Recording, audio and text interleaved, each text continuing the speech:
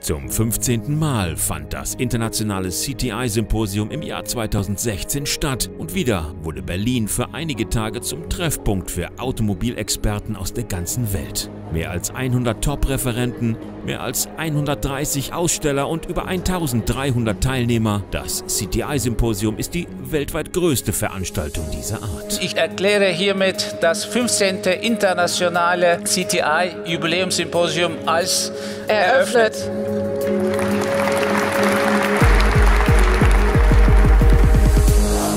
Während die Automobilindustrie und ihre Zulieferer in der Vergangenheit nur zögerlich an einem Masterplan für die E-Mobilität arbeiteten und die Frage unbeantwortet blieb, ob und wann der Verbrennungsmotor ersetzt werden kann, wird das diesjährige CTI-Symposium bereits als Wendepunkt bezeichnet. In nahezu jedem Vortrag stand die Elektrifizierung des Antriebsstrangs im Mittelpunkt. Kein Zweifel, die Antriebsbranche ist auf dem Weg zur Elektromobilität. Die größte Veränderung, die wir jetzt im Moment in unserer Szene erleben im Antriebsbereich, ist tatsächlich die Diskussion rund um die Elektrifizierung. Ist immer wahnsinnig schwer, Zukunft vorherzusagen. Da gab es mal einen Kaiser Wilhelm, der wollte aufs Pferd setzen. Äh, heute setzen wir auf die Elektromobilität äh, und das ist sicher vernünftig. Aber wir müssen aufpassen, der Weg dahin ist ein sehr komplexer. Wir müssen beide Wege gehen, die rein elektrische und die kombinierte Welt, Verbrennungsmotor plus Elektrifizierung, die in verschiedenen Stufen stattfinden wird.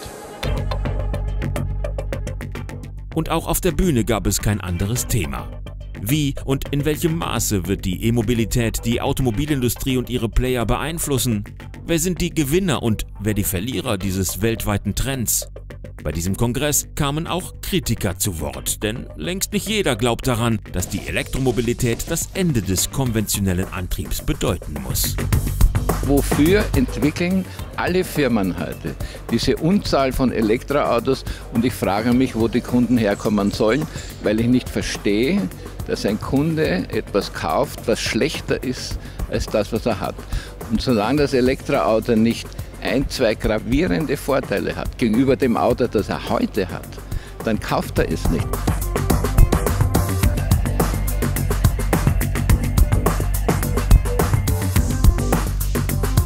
Ich bin tatsächlich der Überzeugung, Elektromobilität macht Spaß. Ja? Man braucht keine Ökokonserven zu verkaufen. Die Leute wollen nicht ein Auto kaufen, das sie dann letztendlich vollständig bezahlen, nur um damit wiederum zu sparen. Ja? Sondern bin grundsätzlich der Meinung, Spaß gehört zum Leben dazu. Und wenn wir den Spaß auch noch mit der Nachhaltigkeit verbinden können, ja, was Besseres gibt es doch nicht.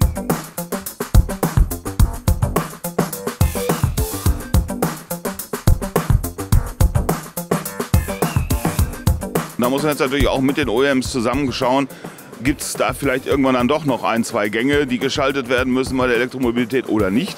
Es wird jetzt sehr, sehr viel geforscht auf der, der Elektromobilität, aber welcher Standard setzt sich dann irgendwann mal durch? In parallelen Vortragsreihen stellten mehr als 100 prominente Redner ihre Thesen und Technologien zum Antrieb der Zukunft vor und es wurde darüber diskutiert, wie Autohersteller, Zulieferer und Wissenschaftler damit umgehen. Die Botschaft ist eindeutig. Die elektrische Zukunft bedarf noch einiger Vorbereitungen, um die Chancen zu nutzen. Man kann nicht nur alleine in den Getriebe anschauen oder den Motor schauen an Einzelkomponenten wie früher. Man muss wirklich das ganze Fahrzeug anschauen. Ich sehe momentan, dass man zusätzliche Funktionen anpacken, ohne ihn zu, zu fragen, was kann man dann wegnehmen und das besser kombinieren. Und äh, da gibt es äh, viel Arbeit.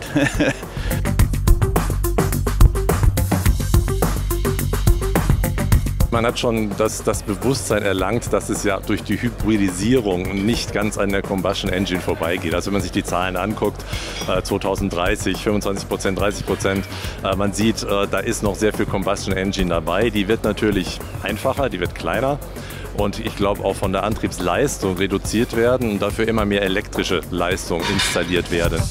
Der CTI Young Drive Experts Award zählt seit einigen Jahren zu den Highlights der Veranstaltung. Junge Nachwuchsingenieure präsentieren sich vor dem hochrangigen Fachpublikum aus aller Welt, das den Besten unter ihnen kürt. Der diesjährige Gewinner hat eine klare Vorstellung davon, wie Industrie und Wissenschaft voneinander profitieren. Arbeit, die in der Forschung gelingt, also die in der Forschung entsteht, muss den äh, Sprung schaffen in die Entwicklung bei den Herstellern und äh, dafür sind solche Konferenzen hier prädestiniert, dass man einfach interessante Themen aus der Forschung kommunizieren kann in äh, die Industrie. 135 Aussteller verwandelten die begleitende Transmission Expo in die weltweit größte Fachmesse für Antriebsstrangtechnologie. Und in diesem Jahr war die Ausstellung umfangreicher denn je. Die Getriebehersteller werden sich ändern müssen, sie werden sich wandeln müssen. Es wird nicht mehr das äh, Getriebe, wenn die Elektromobilität wirklich sich so durchsetzt, äh, sein, wie wir es heute kennen.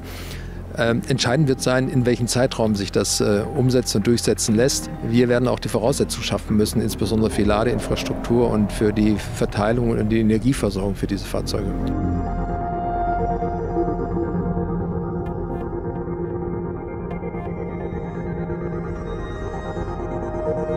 Es ist in der Tat so, dass wir in den ersten äh, Symposien das Getriebe alleine betrachtet hatten und seit rund zehn Jahren aber die Elektrifizierung in das Getriebe integriert haben, was ja die Hybridantriebe es erforderlich gemacht haben, aber auch die Elektroantriebe, die inzwischen ja auch schon da sind. Tendenz natürlich immer mehr Anteil der elektrifizierten Getriebe, Tendenz immer mehr Vorträge zu dem elektrifizierten Umfang der Getriebe.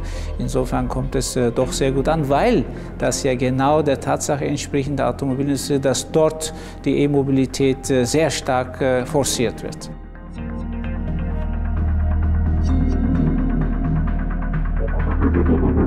Wir haben natürlich auch die beiden Themenkreise der Vernetzung der Automobile und das automatisierte Fahren. Diese machen enorme Fortschritte und deshalb werden wir auch gerade diese beiden Themenkreise auch anlässlich unseres nächsten Symposiums etwas näher betrachten, intensiver in das äh, Symposium integrieren. Insofern gibt es eine nochmalige Bereicherung durch diese Thematik.